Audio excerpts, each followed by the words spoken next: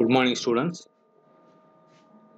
So அடுத்து நம்ம பார்க்க போகிறது வந்து last topic industrial application of robots இது வந்து பார்த்திங்கன்னா கடைசி டாபிக் இதோட வந்து நாலாவது யூனிட் முடியுது.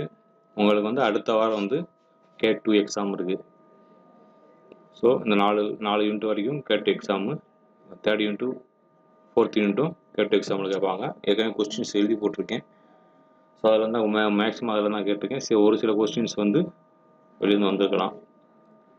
ஸோ அதனால் வந்து ரெடியாக எக்ஸாமுக்கு வந்து ரெடியாக இருந்துக்குங்க. ஸோ இப்போ நம்ம பார்க்க போகிறது வந்து பார்த்தீங்க அப்படின்னா இண்டஸ்ட்ரியல் அப்ளிகேஷன் ஆஃப் ரோபோட் சரி இந்த ரோபோட் வந்து கம்பெனியில் வந்து எப்படியெல்லாம் பயன்படுது எங்கெல்லாம் பயன்படுது அப்படின்னு சொல்லி நம்ம பார்க்க போகிறோம்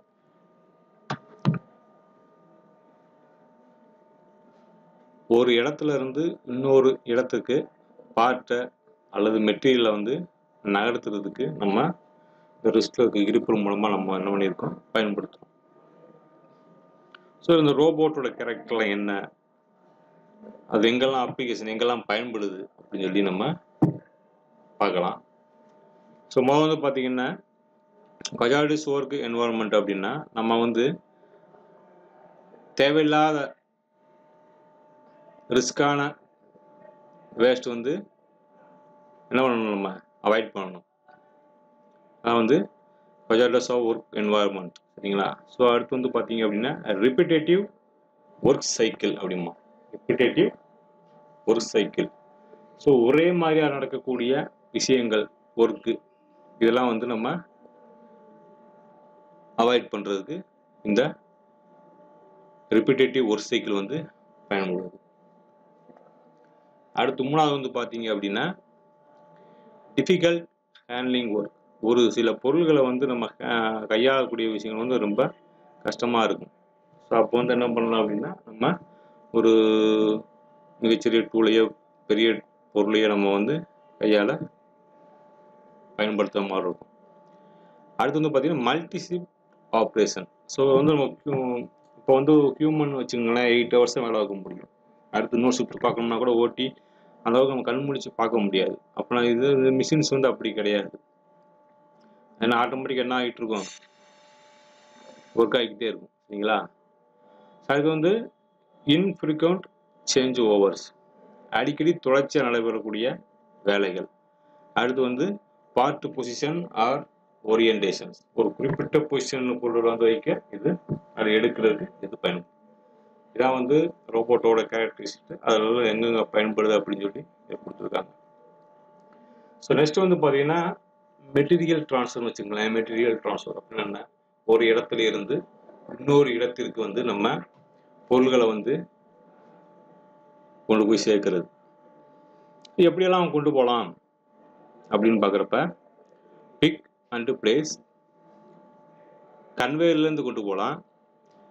பார்ட்ஸ்களை வந்து நம்ம ஒரு வரிசைப்படுத்தணும்னா இப்போ ஒரே மாதிரி ஆப்ரேஷன்ஸ் உள்ள பார்ட்ஸு ஒரே மாதிரி டிசைன் உள்ள பார்ட்ஸ் அந்த மாதிரி நம்ம வந்து இந்த பார்ட் ஃபேமிலியும் படிச்சிருக்கோம்ல அது. அதுக்கப்புறம் வந்து பேரட்டில் வச்சு நம்ம அடுக்கி வச்சு கொண்டு போகிறது ஸோ இதெல்லாம் வந்து பார்த்தீங்க அப்படின்னா மெட்டீரியல் ட்ரான்ஸ்ஃபருக்கு பயன்படக்கூடிய விஷயங்கள். அதுலுமே வந்து இதில் வந்து ரோபோட்டில் பயன்படுத்துகிறாங்க சரிங்களா? அப்போ வந்து கன்வேயருக்கு வந்து மோட்டர் போட்டு கன்வேயரில் வச்சிட்டோம்னா ஜாப் கொண்டு போய் என்ன பண்ணணும்? ஒரு இடத்துல இருந்து இடத்துக்கு ஆனால் அதேமாதிரி பிக் அண்ட் பிளேஸ் ரோபோட் வந்து ஒரு இடத்துல பிக் பண்ணி ஒரு பிளேஸ் ப்ளேஸ் பண்ணி வைக்கிறது. அது மட்டும் இல்லாமல் இப்போ ஒரே மாதிரி ஜாப்பையோ இல்லைன்னா ஒரே மாதிரி ஆப்ரேஷன்ஸ் உள்ள ஜாப்பையோ வந்து ஆர்டராக வச்சு ஃபாலோ பண்ணுறது ஏன்னா பேரட்டில் வச்சு நம்ம என்ன பண்ணிக்கலாம்? பேரட்டில் வச்சு நம்ம என்ன பண்ணிக்கலாம்? அடுக்கி வைக்கிறது. அந்த மாதிரி விஷயங்கள் தான் மெட்டீரியல் ட்ரான்ஸ்ஃபர் தென் அதுக்கப்புறம் வந்து பார்த்தீங்க அப்படின்னா மிஷின் லோடிங் அண்டு அன்லோடிங் சரிங்களா? ஸோ என்ன பார்ட் வந்து லோடு பண்ணுற விஷயங்கள் அன்லோடு பண்ணுற விஷயங்கள் வந்து அன்லோட் பண்ணுறது ஏன் இது இதுக்குமே மிஷின்ஸை பயன்படுத்துகிறோம் அப்படின்னா சம்டைம் மேக்ஸிமம் இப்போ வந்து ஹியூமன் தான் லோடிங் அன்லோடிங் பண்ணிக்கிட்டு இருக்காங்க. ஸோ அதுவுமே வந்து பார்த்தீங்க அப்படின்னா அவங்களோட ஒர்க் எஃபிஷியன்சி வந்து குறைஞ்சிட்டே வருது டைம் ஆகுது. ஸோ அப்போ இந்த மிஷின்ஸ் நம்ம கொடுத்துட்டோம் அப்படின்னா ஆட்டோமேட்டிக்காக வந்து நமக்கு வந்து டைம் மிச்சமாகும் ப்ரொடக்ஷன் அதிகமாக கிடைக்கும். சரிங்களா ஸோ பாட்டை வந்து அன்லோடிங் செய்கிறது லோடிங் செய்கிறது லோடிங் செய்கிறது அன்லோடிங் செய்கிறது இது எல்லாமே வந்து இதெல்லாம் பண்ணலாம். அது மட்டும் இல்லாமல் ரோபோட்டில் வந்து லோடிங் அன்லோடிங் வந்து die casting plastic moulding metal machining operations forging press working heat treatment இதெல்லாம் வச்சு என்ன பண்ணிக்கலாம். நம்ம வந்து நம்ம இந்த மிஷின்ஸை ஆப்ரேட் பண்ணி பண்ணலாம் ஏன் இது மாதிரினா இப்போ டை காஸ்டிங் ஹீட் இருக்கும் கொஞ்சம் ப்ரெஷர் கொடுக்க வேண்டியிருக்கும். Plastic moulding chemicals metal machining operations வந்து சிப்பெல்லாம் கையில் பிடிச்சோன்னா இதான் forging heat working press working வந்து நம்ம எனர்ஜி தேவை. ஹீட் மட்டுக்கு நம்மளுக்கு ஹீட்டு உடம்பு தாங்கணும். அந்த மாதிரி விஷயங்கள்லாம் கன்சிடர் பண்ணி தான் இந்த மாதிரி விஷயங்களுக்கெல்லாம் ரோபோட்டை பயன்படுத்துகிறாங்க இப்போ ரோபோட்னால வந்து இங்கே எங்கேயுமே வந்து ஈஸியாக போக முடியும் வர முடியும். பட் நம்மளால் அப்படி கிடையாது. ஹீட் அதிகமாக இருந்துச்சுன்னா போட ரொம்ப நம்ம ஸ்கின்னு கலர்ச்சி நம்ம பிளாஸ்டிக் மோல்டிங் அந்த மாதிரி தான் ஸோ அதனால தான் வந்து என்ன பண்ணுறாங்க அப்படின்னா ரோபோட்டை பயன்படுத்துகிறாங்க ஸோ அதுக்கப்புறம் வந்து பார்த்தீங்கன்னா இந்த ரோபோட்டில் வந்து என்னென்ன ஆப்ரேஷன்ஸ் இருக்குது அப்படின்னு பார்த்தோம்னா die casting plastic moulding forging metal machining operations press working heat treatment spot welding continuous arc welding spray painting drilling grinding water jet cutting laser cutting riveting இது எல்லாமே வந்து நம்ம ரோபோட்டில் பயன்படுத்தக்கூடிய வேரியஸ் ஆப்ரேஷன்ஸ் நல்லா மறுபடியும் சொல்கிறேன் die casting plastic moulding forging metal machining operations press working heat treatment இந்த ஆறு தான் வந்து மோ போனதிலே நம்ம வந்து பார்த்துருக்கோம். ஏன் அப்படின்னா இந்த ஆறுக்கு தான் மொதல் ப்ரிஃபரன்ஸ் ரோபோட் அலாட் பண்ணுவாங்க. அதுக்கப்புறம் தான் வந்து spot welding continuous arc welding spray painting drilling grinding water jet cutting laser cutting riveting சரிங்களா? இதெல்லாம் வந்து வேரியஸ் ஆப்ரேஷன்ஸ் சரி ஜஸ்ட் இவ்வளோ இவ்வளவு ஆப்ரேஷன்ஸ் இருக்குல்ல அப்போ அதை வந்து ஜஸ்ட் ஒரு ஒரு குறிப்பிட்ட ஆப்ரேஷன்ஸை மட்டும் நம்ம பார்க்கலாம். ஸோ முத முத பார்க்க போகிறது என்ன அப்படின்னா வெல்டிங் இப்போ வெல்டிங் அப்படின்னு பார்க்குறப்போ வந்து ஸ்பாட் வெல்டிங் ஆர்க் வெல்டிங் இதில் வந்து என்ன ஆகும்? இதில் வந்து ரெண்டு ரீசனுக்காண்டி நம்ம பயன்படுத்துகிறோம் ஒன்று வந்து high accuracy safety reduce timing to get good welding bead reduce defect ஏன் அப்படின்னா ஒரு ஹியூமன் மேன் பயன்படுத்தக்கூடிய டயத்தில் இந்த ரோபோட்டை பயன்படுத்தணும் அப்படின்னா எல்லா டைமும் ஒரே மாதிரி வெல்ட் அடிக்கும். சேஃப்டி வேற.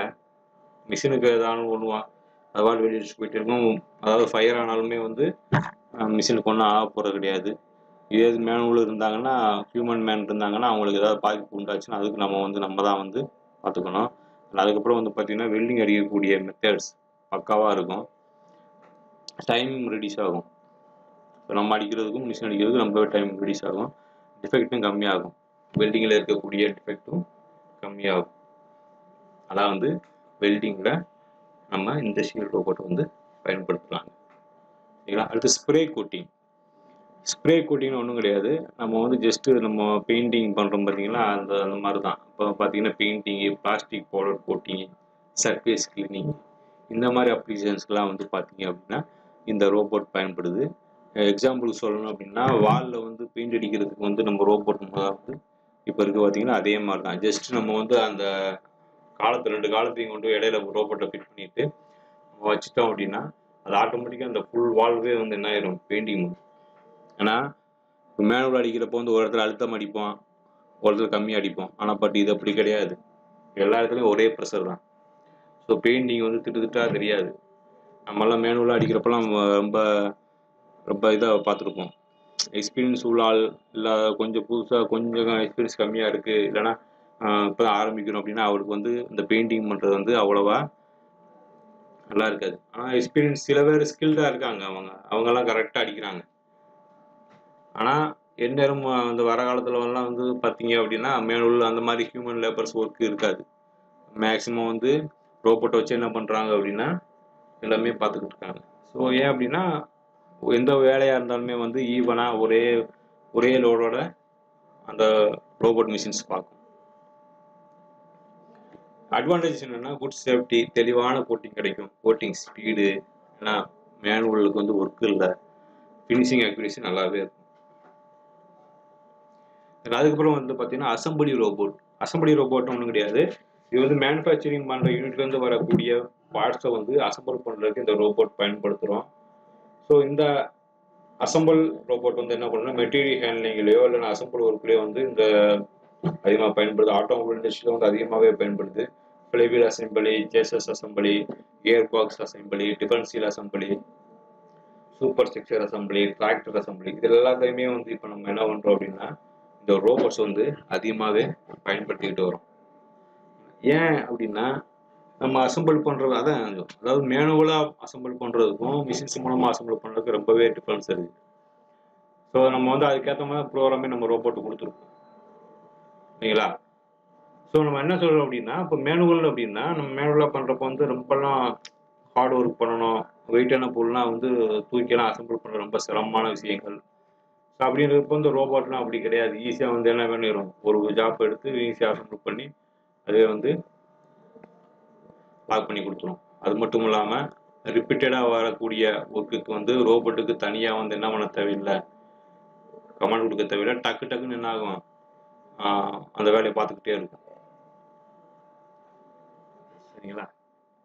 அடுத்து வந்து பார்த்தீங்கன்னா இன்ஸ்பெக்ஷன் ரோபோட் இப்போ வந்து மெஷினில் வச்சு நம்ம வந்து பினிச்சிடு செஞ்சதுக்கப்புறம் இன்ஸ்பெக்ஷன் பண்ணுவோம்ல. ஜாப் வந்து செஞ்சு முடிச்சாச்சு அப்படின்னா இன்ஸ்பெக்ஷன் பண்ணுவோம். அப்போ இருந்து சென்சார்ஸ் இதெல்லாம் வந்து ஒரு பட்டாச்சாக இருக்குது ரோபோட்டில் அப்போ என்ன பண்ணால் ஜாப் ஆனது கன்வேயர் மூலமாக வந்து ஃபினிஷில் வந்து செமி ஃபினிஷிங் ஒர்க் ஃப்ளோ ஆகிற போகுது அதாவது என்ன பண்ணியிருப்பாங்க அப்படின்னா ஃபினிஷிடு போகிறதுக்கு முன்னாடி செமி ஃபினிஷில்னு ஒரு ஒர்க் ஃப்ளோ இருக்கும். அதில் வந்து ஜாப் அனுப்பிவிடுவாங்க அதில் வந்து அதாவது மெஷர் பண்ணும். சென்சார் அண்ட் ப்ரூஃப் மூலமாக வந்து மெஷர் பண்ணும். அதான் வந்து டெஸ்டிங் ஆர் இன்ஸ்பெக்ஷன் சொல்லுவாங்க. இந்த இன்ஸ்பெக்ஷன் வந்து எப்படி இருக்கும்னா அக்யூரேசி மெ மெஷர்மெண்ட் வந்து அக்யூரேசி அக்யூரேட்டாக இருக்கும். மெஷர்மெண்ட் வந்து அக்யூரேட்டாக இருக்கும். ஃபாஸ்ட் மெஷர்மெண்ட்டாக இருக்கும். காம்ப்ளெக்ஸ் ஷேப்பையும் இன்ஸ்பெக்ஷன் செய்ய முடிகிறது. இன்ஸ்பெக்ஷன் டைம் ரிடியூஸ்டு பார்த்துங்க ரொம்ப கஷ்டமான ஜாப்பாக இருந்தாலும் பரவாயில்ல. எல்லாத்துலையும் என்ன பண்ணும்? இன்ஸ்பெக்ஷன் பண்ணும். சரிங்களா? பண்ணக்கூடிய இன்ஸ்பெக்ஷன் வந்து அக்யூரேட்டாக இருக்கும் அதாவது மனிதர்கள் கூட சில விஷயம் சில இடத்துல இடங்களில் வந்து தப்பு பண்ணுறது வாய்ப்பு இருக்குது பட் மிஷின்ஸ் வந்து அப்படி கிடையாது. ப்ரோக்ராம் ஏற்கனவே நம்ம முதலே போட்டு வைக்கிறதுனால மிஷின்ஸ் வந்து கரெக்டாக ஒர்க் ஆகும். வேகமாகவும் மெஷர் பண்ணும். சரிங்களா? அதான் வந்து இன்ஸ்பெக்ஷன் ரோபோட் ஸோ இதெல்லாம் வந்து பார்த்தீங்கன்னா ஜஸ்ட் வந்து தெரிஞ்சுக்கிறேன். மறுபடியும் சொல்கிறேன் பார்த்துக்குங்க வெல்டிங் வெல்டிங் அப்படின்னா நார்மலாக வந்து ஸ்பாட் வெல்டிங் ஆர்க் வெல்டிங் அப்படிலாம் அடிக்கிறோம்ல. ஸோ முதல் வந்து என்னென்ன ஆப்ரேஷன் முதல் ஞாபகப்படுத்திடலாம் மறுபடியும். ஸோ இதான் வந்து ஆப்ரேஷன்ஸ் ரோபோட்டை பயன்படுத்தி என்னென்ன ஆப்ரேஷன்ஸ் செய்யலாம்னு போட்டிருக்கேன். Die casting, plastic molding, forging, metal machining operations press working heat treatment முதல் ப்ரிஃபரன்ஸ் இந்த ஆறு தான். இந்த ஆறு பிரச்சனைக்கான தான் ரோபோட்டே வந்து என்ன பண்ணுறாங்க ரெஃபர் பண்ணுறாங்க சரிங்களா? அதுக்கப்புறம் வந்து பார்த்தீங்கன்னா spot welding continuous arc welding spray painting drilling grinding then அதுக்கப்புறம் water jet cutting laser cutting riveting சரிங்களா? இதாக வந்து ரோபோட் மூலமாக செய்யக்கூடிய ஆப்ரேஷன்ஸ் அதில் சில இதுதான் வெல்டிங் ஸோ வெல்டிங் அப்படின்னா நம்ம நார்மலாக வந்து ஒரு ஜாப்பையும் இன்னொரு ஜாப்பையும் வந்து இணைக்கிறதுக்கு பயன்படுத்தக்கூடிய ஒரு ஆப்ரேஷன்ஸ் வெல்டிங் இந்த ஆப்ரேஷன்ஸ் வந்து மேனுவலாக வைக்கிறப்ப சில இடங்களில் கூடலாம் சில இடங்களில் குறையலாம் சில இடங்களில் டிஃபெக்ட் கூட வரலாம். பட் ஆனால் நம்ம இந்த இண்டஸ்ட்ரியல் ரோபோட்டை பயன்படுத்தி பண்ணுறதுனால நம்மளுக்கு வந்து இதில் ஸ்பாட் வெல்டிங் ஆர்க் வெல்டிங் செய்கிறப்ப வந்து எந்த ஒரு பிரச்சனையும் வராது. அக்யூரிசி ஹையாக இருக்கும். சேஃப்டியாக கூட இருக்கும். சரிங்களா? அது மட்டும் இல்லாமல் குறைஞ்ச குறைந்த நேரத்தில் வந்து நம்ம என்ன பண்ணிடலாம்? வெல்டிங் அடித்து முடிச்சிடலாம்.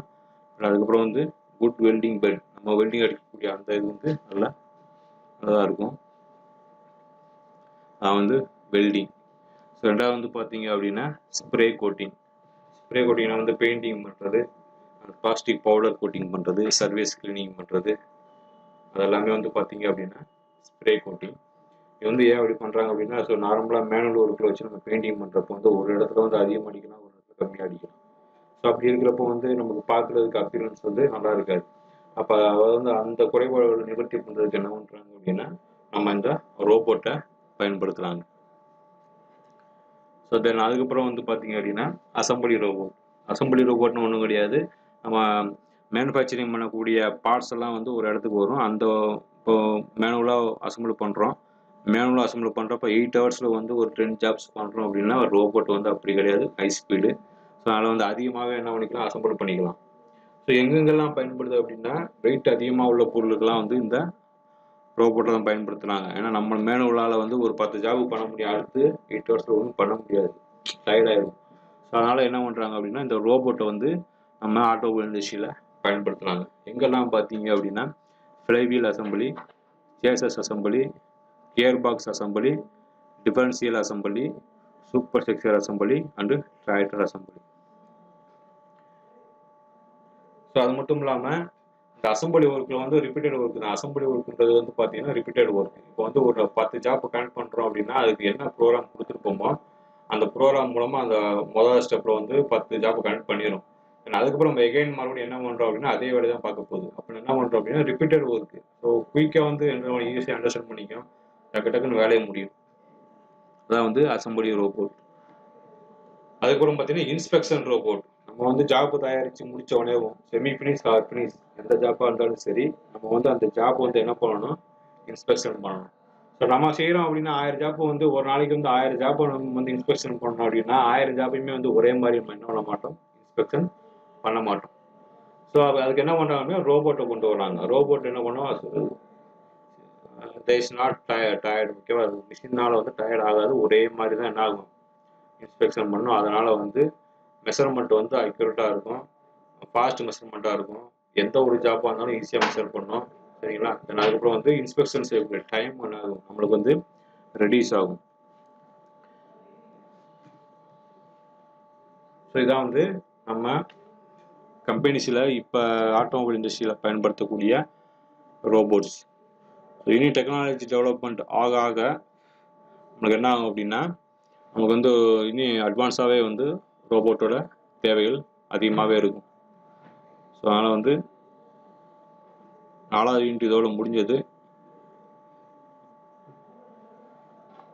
தேங்க்யூ